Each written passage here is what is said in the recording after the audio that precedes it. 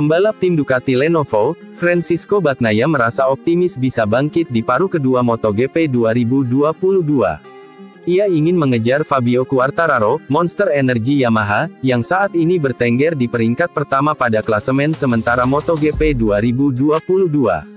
Dalam beberapa balapan, Bagnaia memang cukup sering mendapatkan hasil yang tidak maksimal. Meski menunjukkan kecepatan yang baik, dirinya saat ini masih harus puas menempati posisi keempat pada klasemen kejuaraan dunia dengan 106 poin. Baknaya pun mengakui dirinya masih kurang optimal untuk bisa bersaing menjadi juara dunia di awal musim ini. Meski begitu, pembalap berusia 25 tahun itu tetap optimis bakal meraih hasil yang lebih baik di paruh kedua musim ini demi menjadi juara dunia. Pada awal musim ada pasang surut, beberapa nasib buruk dan kesalahan saya.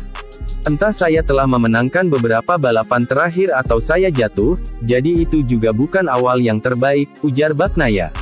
Tetapi yang penting adalah mengetahui bahwa kami sangat cepat dan di paruh kedua musim ini akan menjadi penting, untuk menemukan kesinambungan, imbuhnya.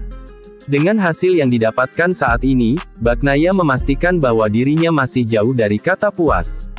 Namun dirinya menjelaskan bahwa Ducati telah menunjukkan peningkatan pada balapan di Eropa untuk bisa bersaing lebih baik.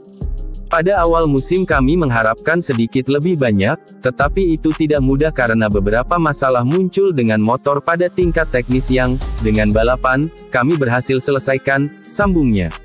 Namun, sejak kami kembali ke Eropa, kami menjadi jauh lebih cepat dan kami selalu berada di depan, imbu Baknaya.